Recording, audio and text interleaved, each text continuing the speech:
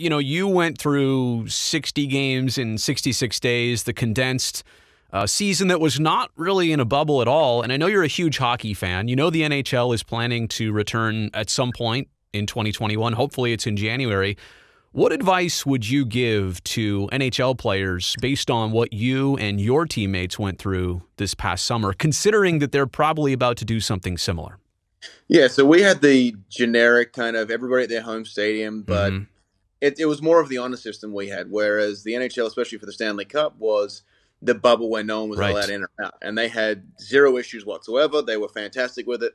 Um, this year, with opening it up, it'll be very interesting because obviously you're not only dealing with just the one team in a different country where you can relocate them inside the states, but you're now dealing with almost half the league. Seven, yeah, north north of the border. So yeah, it'll be interesting what they do. Whether they have the Canadian teams all playing one because right now they're handling the pandemic a little bit better, or whether you split it up into the same thing we did was West Coast, East Coast, and Central. Mm-hmm. It'd be very interesting to see what they do, but at the end of the day, it's just hold each other accountable.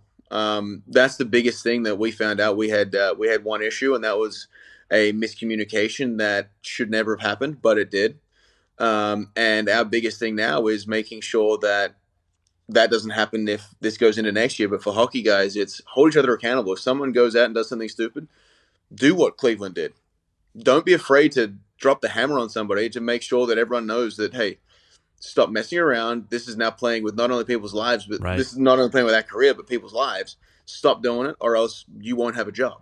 And at that point, it, there needs to be sh- strict guidelines on what to do, and that's the only way anyone's going to ever going to learn. It's the strictness. It's the the capabilities. I mean, obviously they're all around each other. It's tight knit community. They can't exactly social distance in their um, in their uh, in their benches. So it's one of those things where it's it's going to be a lot of interesting. Uh, very interesting to see how it goes in hockey, and and hopefully it does better than the NFL is doing right now because they're. Uh, I feel like every day I'm looking and there's three guys that are missing from a team based upon COVID right. regulations or anything like that. So I think the NBA did a fantastic job with the bubble. The NHL did a great job with the bubble. MLB was four hours away from having a great job with our bubble.